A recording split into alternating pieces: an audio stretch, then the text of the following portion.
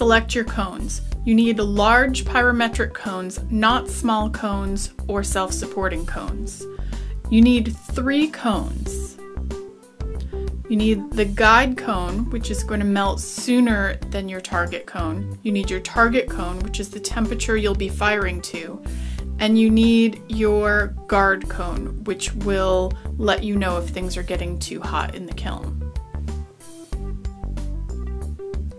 Make sure that you understand the cone numbering system so that you're able to accurately arrange your cones from coolest to hottest in your cone pack. I'll be making two cone packs in this video, one with a target temperature of cone 04 and the other with a target temperature of cone 6. To make my cone 04 cone pack, I'm laying out the three cones that I'll need. Cone 05 will be my guide cone. This is the one that will melt first and will let me know that cone 04 will drop soon. Cone 04 is my target cone. That's the temperature that I'm firing to. That will be in the middle of the cone pack. And then my guard cone, cone 03. This will warn me if things are getting too hot in the kiln. For the cone 6 cone pack, I'm going to do the same thing. Cone 5 will be the coolest. That will be my guide cone. And then cone 6 is my target cone. And finally, cone 7 is my guard cone.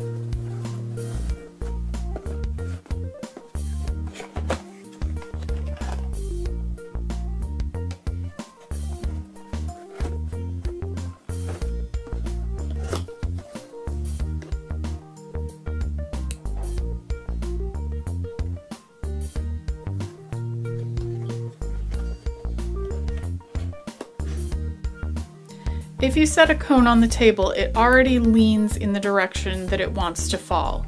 That's the angle that you want to place the cone in the cone pack. Make sure that all the cones are facing the same direction so that you can get accurate results. With a small piece of clay, make a coil about the thickness of your finger. You only need the coil to be slightly wider than the cones.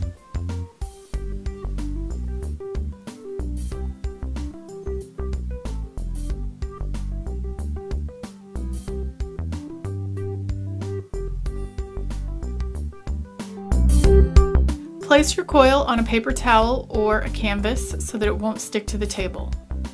Begin with your coolest cone, the cone that will melt first. This is the guide cone.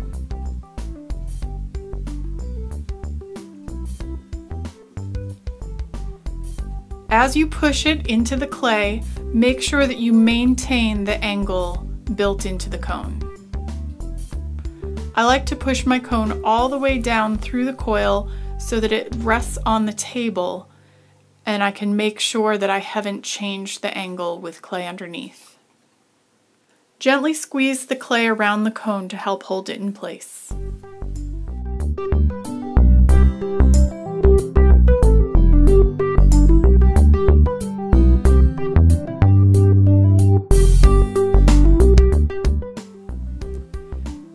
Repeat this process by putting your target cone behind your guide cone. You don't need a lot of space in between them. Again, maintain the natural angle of the cone. And then finally by putting your guard cone behind that. Again, you don't need a lot of space in between the cones.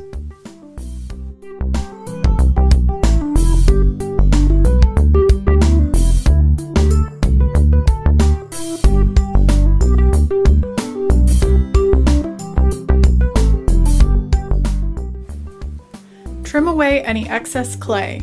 You really only need enough clay to hold the cones together.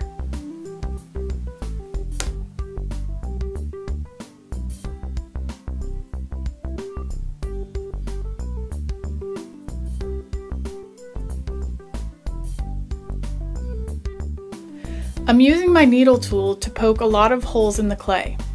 This helps the clay to dry more quickly and more evenly and if this were to go into a glaze firing where the ramping is faster than a bisque, it will help prevent the clay pack from exploding. Another thing to notice about how I've placed the cones into the coil is that they are facing so that they will fall slightly to the back rather than directly in a row. This is because you run the risk of one cone melting and then the next falling into that and not being able to fully fall. Here's an illustration of what I mean. In example A, the cones are placed directly in a row and the second cone is starting to fall into the first cone. In example B, they're falling slightly behind one another, and that lets you see how each cone is melting. Here's a fired cone pack and an unfired cone pack. The fired one helps you to see how one cone will fall slightly behind another if you put them at the correct angle. To make my other cone pack with a target temperature of cone 6, I'm going to use the exact same technique that I used for the other cone pack. You do want to make sure in a cone 6 firing that you have clay that um, doesn't mature before cone 6 so that you're not melting your clay.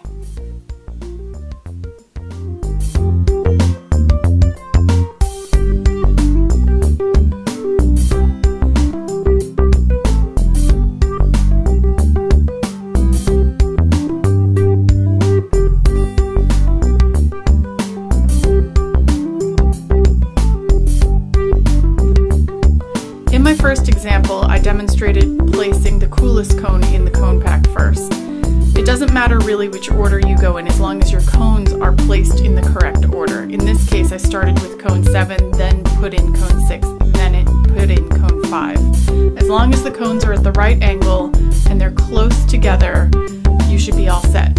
Having them close together is important because the spy hole in the kiln is very small and you want to be able to see all three cones at the same time.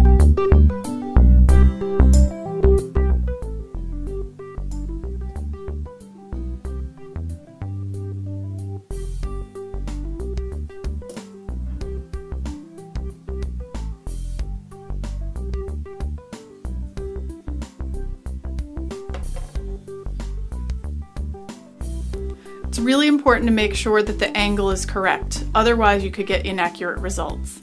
This cone pack is far too vertical. These cones are far too upright. This is not going to give you accurate results in the kiln. Here's an example of cones at the correct angle. This photo shows two cone packs that were fired next to one another in the same firing. The one on the left, the cones started out in the correct position, and the one on the right, they were a little bit too upright, and you can see that it looks like drastically different results.